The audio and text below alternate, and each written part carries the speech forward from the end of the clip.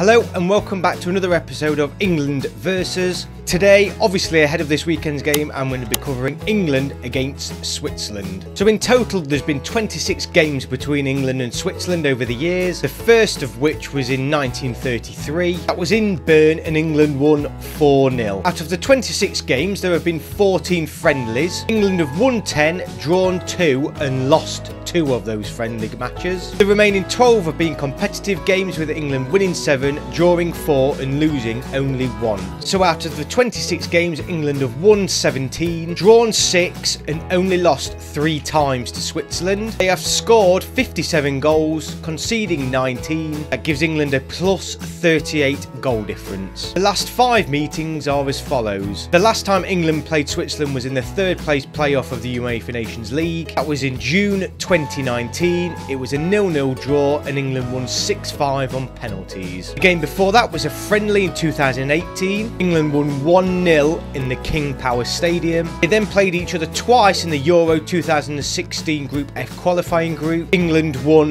the home game 2-0 at Wembley Stadium in 2015 and in 2014 in the same European qualifying campaign England won 2-0 in Basel that year. And the game before that was a Euro 2012 qualifier in 2011 and England and Switzerland finished 2-2 at Wembley Stadium. England and Switzerland over the years have actually played each other quite often in recent history. England still getting the better hand, only losing three times to Switzerland over our entire history. That's 26 games, so England have got a very good positive record against Switzerland. Obviously we're playing them this weekend. Check out my other video for my thoughts on that match. I think overall England have the upper hand, but Switzerland are always a very competitive team who on the day could snatch a victory against us. Thank you very much for watching this video. I'll see you on the next England versus episode.